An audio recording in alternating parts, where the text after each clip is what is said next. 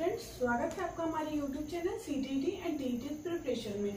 और आज की इस वीडियो में मैं यूपी टीईटी के लिए पर्यावरण अध्ययन के इम्पोर्टेंट नोट्स को लेकर आई हूँ। ये नोट्स यूपी टीईटी के सिलेबस पर आधारित है और परीक्षा में 100 परसेंट आने की उम्मीद है।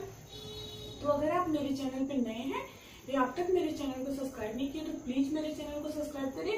और पहले भी मैं यूपी टेट सी टेट के बहुत सारे नोट्स डाल चुकी हूँ। उसका लिंक मैं डिस्क्रिप्शन में दे दूँगी, वहाँ से आप देख सकते हैं। तो सारे नोट्स आपको यूपी टेट में सी टेट में काफ़ी अच्छे मार्क्स दिलाएगा। तो आइए शुरू करते हैं।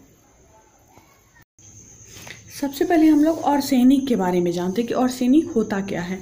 तो और सैनिक जो है, एक गंधहीन और स्वाद रहित उपधातु है। न इसमें स्वाद है, न गंध है। और यह पृथ्वी सतह के नीचे जो होता है, प्रचुर मात्रा में पाई जाती है। और यदि ऑर्सेनिक की मात्रा पानी में बढ़ जाए, जल में बढ़ जाए तो इससे बहुत सारी बीमारियाँ होने लगती है, जैसे त्वचा का फटना हो गया, कोरोटोइच हो गया, त्वचा का कैंसर, फेफड़े एवं मूत्राशय से संबंधित कैंसर इसके बढ़ जाने से होता है। ठीक है? भारत में गंगा एवं ब्रह्मपुत्र नदी के कछाड़ीय क्षेत्रों के भूजल में और ऑर्सेनिक की सांद्रता अधिक पाई जाती है। और भारत में गंगा और ब्रह्मपुत्र नदी जो है, इसके कछाड़ीय क्षेत्रों में भूजल में और सैनिक की सांद्रता बहुत अधिक पाई गई है और सैनिक से सर्वाधिक जल प्रदूषण पश्चिम बंगाल तथा उसके पश्चात बिहार, उत्तर प्रदेश एवं झारखंड में। देखिए, सबसे ज़्यादा जल प्रदूषण इसकी वजह से और शेनी की वजह से पश्चिम बंगाल में है और इसके पश्चात हमारे बिहार में, उत्तर प्रदेश में और झारखंड में भी है। ठीक है, अब चलते हैं किनवन। किनवन होता क्या है? सबसे पहले इसको देखते हैं। दूध से जो दही बनता है तो दूध से दही बनाने की प्रक्रिया को ही हम लोग किनवन कहते हैं। और किनवन एक जैव रासायनिक क्रिया है, जिसमें जटिल कार्बनिक यौगिक सूक्ष्म जीवों की सहायता से सरल कार्बनिक यौगिक में विघटित हो जाते हैं। और दूध से दही बनना एक रासायनिक अभि, अभिक्रिया है, और लैक्टोवैशिलस जीवाणु के कारण दूध से दही बनता है, ठीक है? नेक्स्ट है जीव संरक्षण संरक्षण अधिनियम उन्नीस सौ बहत्तर। भारत सरकार द्वारा वन जीवों के अवैध शिकार को रोकने के लिए एवं पौधे के संरक्षण हेतु भारत सरकार द्वारा भारतीय वन जीव संरक्षण अधिनियम उन्नीस सौ बहत्तर पारित किया गया था।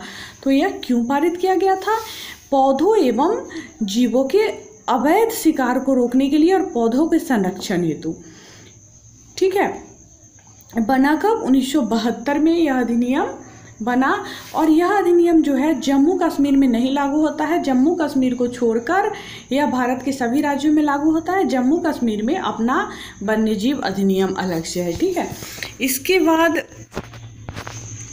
बाघों की घटती संख्या को देखते हुए एवं इसके संरक्षण हेतु भारत सरकार द्वारा 9 अप्रैल 1973 को प्रोजेक्ट टाइगर की शुरुआत की। देखिए, बाघों का जो संख्या दिन प्रतिदिन घट रहा है उसके संरक्षण के लिए भारत सरकार ने 9 अप्रैल 1973 को प्रोजेक्ट टाइगर की शुरुआत की।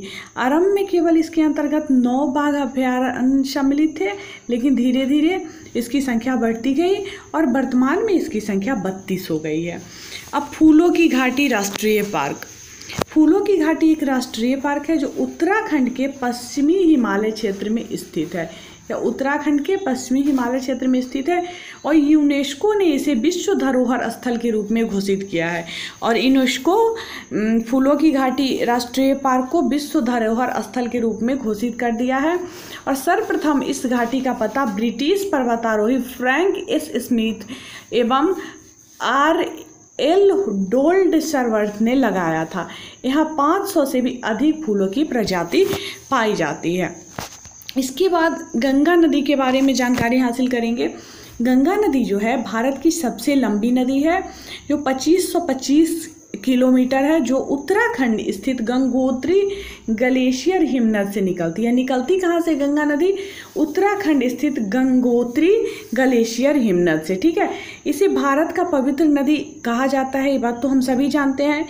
और मीठे जल में पाए वाल, पाया जाने वाला जो दुर्लभ डॉल्फिन होता है यह गंगा नदी में ही पाया जाता है। जब यह नदी निकलती है तो इसे भागीरथी एवं अलकनंदा की संयुक्त धारा से गंगा कहा जाता है। मुख्य रूप से इसका बहाव क्षेत्र उत्तराखंड, उत्तर प्रदेश, उत्तराखंड, उत्तर प्रदेश, बिहार, झारखंड एवं पश्चिम बंगाल में। इसके बाद एलपीजी क्या होता है? एलपीजी एक तरलीकृत पेट्रोलियम गैस है, जो प्रोपेन एवं ब्यूटेन का मिश्रण है। देखिए, एलपीजी प्रोपेन एवं ब्यूटेन का मिश्रण है और यह कार्बन डाइऑक्साइड के उत्सर्जन को कम करता है और यह स्वच्छ ईंधन का एक रूप है। तो यहाँ पे नोट्स हमारा समाप्त होता है। आगे की वीडियोस में मैं और भी इम्पोर्टेंट नोट्स को लेकर आऊँगी। यह नोट्स आपके सीटेट के लिए भी हेल्पफुल होगा, क्योंकि एन सिलेबस पर ही आधारित ये नोट्स है। तो अगर आप मेरे चैनल पर नए हैं या अब तक मेरे चैनल को सब्सक्राइब नहीं किया तो प्लीज़ इसे सब्सक्राइब करें। और अगर आपको मेरा वीडियो पसंद आ रहा है तो इसे लाइक करें और ज़्यादा से ज़्यादा शेयर करें। वीडियो देखने के लिए बहुत बहुत धन्यवाद।